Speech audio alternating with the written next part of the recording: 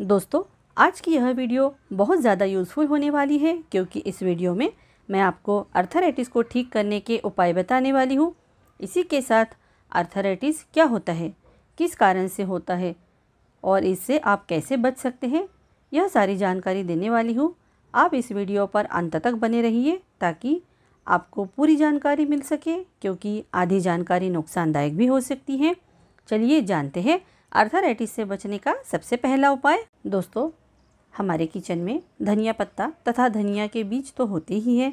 धनिया पत्ता सब्ज़ी का टेस्ट बढ़ाने के लिए काम आता है। इसी तरह से धनिया के बीज हम मसालों के रूप में इस्तेमाल करते हैं। लेकिन हमें इसके औषधीय उपयोग के बारे में नहीं पता होता है। नमस्कार, निशा मधुरिमा रेसिपीज़ में आप सभी का स्वागत है। अभी आप जान लीजिए अर्थराइटिस को ठीक करने का सबसे पहला उपाय। दोस्तों धनिया का वैज्ञानिक नाम कोरिएंड्रम सेटाइवम है। इसे हिंदी में धनिया कहा जाता है, मराठी में इसे धने कहते हैं, अंग्रेज़ी में इसे कोरिएंडर कहते हैं, संस्कृत में इसे धन्यका के नाम से जाना जाता है। आपके यहाँ इसे किस नाम से जानते हैं, हमें कमेंट्स करके ज़रूर बताइए, ताकि बाकी लोगों को भी इस जानकारी से लाभ मिल सके। हमें एक पैन ले लेना है, कोई भी पैन आप ले सकते हैं। इसमें एक गिलास पानी डालेंगे। अभी हम इसमें एक बड़ा चम्मच धनिया के बीज डालेंगे। इसे अच्छे से मिला देंगे। अभी हमें इसे अच्छे से पका लेना है।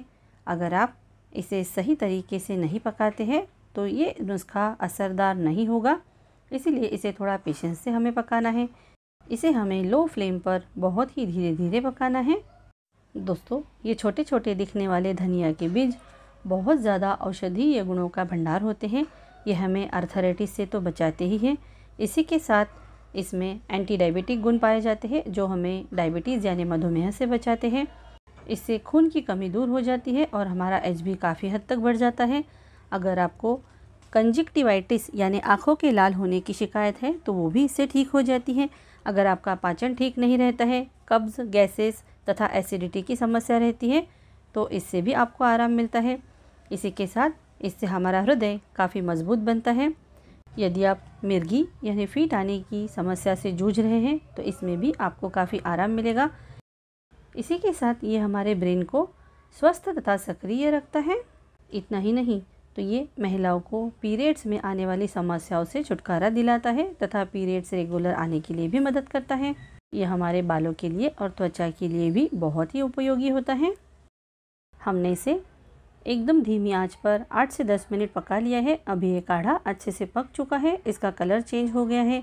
अभी हमें गैस बंद कर देना है और इसे थोड़ा गुनगुना होने के लिए छोड़ देना है। अभी ये काढ़ा या फिर धनिया वाटर गुनगुना हो चुका है। चलिए अभी हम इसे छान लेते हैं। बहुत ही आसान और असरदार धनिया वाटर का ये नुस्खा बनकर तैयार है।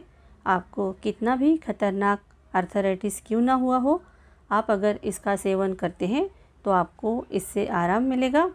आप चाहे तो इसमें थोड़ा सा मिश्री का टुकड़ा भी पीस कर डाल सकते हैं, लेकिन अगर आपको मधुमेह है तो आप इसे मत लीजिए, आप प्लेन ही पीजिए। इसका सेवन आपको सुबह खाली पेट करना है। जब तक आपके जोड़ों का दर्द पूरी तरह से ठीक नहीं हो जाता है, तब तक आप इसका सेवन कर सकते हैं। दोस्तों, इसके कोई भी साइड इफ़ेक्ट्स नहीं होते हैं, बल्कि इसे पीने से हमारा शरीर अंदर से बहुत मज़बूत बनता है। तथा हमारी रोग प्रतिरक्षा प्रणाली भी काफ़ी मज़बूत बनती है। दोस्तों, अभी आप सावधान हो जाइए और वीडियो को बिल्कुल भी स्कीप मत कीजिए, क्योंकि मैं आपके साथ बहुत ही महत्वपूर्ण जानकारी शेयर करने जा रही हूँ कि आर्थराइटिस क्या होता है, इसके कौन से प्रकार होते हैं, कौन से लक्षण होते हैं और इससे हम कैसे बच सकते हैं। चलिए इसे जान लेते हैं। अर्थराइटिस को आम भाषा में गठिया के नाम से भी जाना जाता है, जिसका तात्पर्य ऐसी बीमारी से है जिसमें व्यक्ति को जोड़ों के दर्द के साथ सूजन भी आ जाती है। यह स्थिति किसी भी व्यक्ति के लिए काफ़ी तकलीफ़देह होती है, क्योंकि इस दौरान उसे असहनीय दर्द से गुजरना पड़ता है। अर्थराइटिस के कई प्रकार होते हैं। आमतौर पर लोग इसके बारे में नहीं जानते हैं। अगर आपको अर्थराइटिस हो जाता है तो यह पता नहीं होता है कि ये कौन सा अर्थराइटिस हुआ है। इसी के कारण सही उपचार में देरी हो जाती है और बहुत सारी समस्याओं का सामना करना पड़ता है। अर्थराइटिस के प्रमुख दो प्रकार होते हैं ऑस्टियो अर्थराइटिस और रोमेटॉइड अर्थराइटिस ऑस्टियो अर्थराइटिस किसे कहते हैं? इसमें सीधा असर व्यक्ति के जोड़ों के कार्टिलेज पर पड़ता है। कार्टिलेज या तो टूट जाते हैं या फिर खींच जाते हैं, जिसकी वजह से व्यक्ति को चलने फिरने में काफ़ी परेशानी होती है। यह किसी को भी हो सकता है। चलिए अभी जानते हैं रोमेटॉइड अर्थराइटिस क्या होता है। इससे पीड़ित होने वाले लोगों की उम्र आमतौर पर 40 से 50 होती है। इसमें व्यक्ति की रोग प्रतिरोधक क्षमता कम होने लगती है, जिसकी वजह से उसे जोड़ों में असहनीय दर्द होता है तथा हाथ पैरों में सूजन भी होती है। जिस व्यक्ति को अर्थराइटिस हो जाता है, उनमें ये सामान्य लक्षण दिखाई देने लगते हैं, जैसे कि जोड़ों में दर्द, जोड़ों में अकड़न, घुटनों में सूजन चलने फिरने में तकलीफ़, घुटनों के दर्द वाली जगह का लाल होना ज़रूरी नहीं है कि हर घुटने का दर्द अर्थराइटिस ही हो, लेकिन हमें शुरुआत से ही ध्यान देने की ज़रूरत होती है, क्योंकि कहा जाता है prevention is better than cure चलिए जानते हैं, अर्थराइटिस किस कारणों की वजह से होता है। जोड़ों में चोट लगना, कैल्शियम की कमी का होना, किसी दवाई का दुष्प्रभाव होना, रोग प्रतिरोधक क्षमता का कमज़ोर होना, इसी के साथ आनुवंशिकी कारण की वजह से भी अर्थराइटिस होता है। मतलब अगर हमारे घर में किसी को बड़े बुज़ुर्गों को अर्थराइटिस है तो हमें भी होने की संभावना बहुत ज़्यादा होती है। दोस्तों, अब आप समझ चुके होंगे कि आपको कौन से प्रकार का अर्थराइटिस हुआ है, तथा आप में इनमें से कौन से लक्षण दिखाई देते हैं। यदि आप अर्थराइटिस को ठीक करने के लिए कोई दवाई ले रहे हैं तो इसी के साथ अगर कुछ घरेलू उपायों को भी करते हैं तो इससे आपके शरीर को कोई नुकसान नहीं होगा, बल्कि आपका शरीर अंदर से काफ़ी मज़बूत बनेगा और आपको बहुत सारे स्वास्थ्य लाभ भी होंगे। चलिए, अभी हम जानते हैं हमारे दूसरे उपाय के बारे में। दोस्तों, हमारी व्यस्त जीवन शैली के चलते हमारे पास कभी कभी समय नहीं होता है। मैं आपके लिए एक और आसान उपाय लेकर आई हूँ।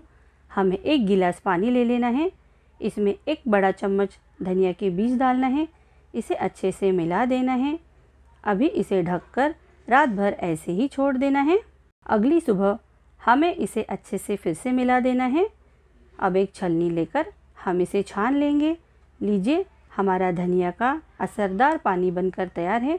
इस पानी को आपको सुबह खाली पेट सेवन करना है। जब तक आपके जोड़ों में दर्द है, तब तक आप इस पानी का सेवन कर सकते हैं। आप चाहे तो इसमें थोड़ी सी मिश्री या फिर छोटा सा गुड़ का टुकड़ा मिलाकर इसे पी सकते हैं। लेकिन अगर आपको मधुमेह की समस्या है तो मीठे से बचना ही बेहतर होगा। एक और आसान उपाय मैं अभी आपको बताने जा रही हूँ। आपको क्या करना है? आधी कटोरी धनिया की बीज ले लेना है। इसे मिक्सी में से अच्छे से पीस लेना है। आप चाहे तो इसमें छोटा सा टुकड़ा मिश्री का भी डाल सकते हैं। इसका अच्छे से पाउडर बनाकर रख ले। अगर आपको डायबिटीज़ है तो आप इसमें मिश्री ना मिलाए। सुबह एक बर्तन में एक गिलास पानी डालें। इसमें एक चम्मच धनिया का पाउडर डालें। इसे अच्छे से उबाल लें, जिस तरह से हम चाय बनाते हैं। उबलने के बाद इसे छान लीजिए। अभी हमारा इंस्टेंट धनिया वाटर बनकर तैयार है। ये भी उतना ही असरदार होता है। आपको इसे सुबह खाली पेट सेवन करना है। दोस्तों, अगर आपको आज की ये यूज़फुल वीडियो पसंद आई हो तो प्लीज़ वीडियो को लाइक कीजिए और अपने दोस्तों के साथ इसे शेयर कीजिए, ताकि उन्हें भी इससे लाभ हो सके। इस वीडियो को देखने के लिए आप सभी का धन्यवाद। फिर मिलते हैं अगले वीडियो में एक नई जानकारी के साथ। तब तक अपना ध्यान रखिए। नमस्ते।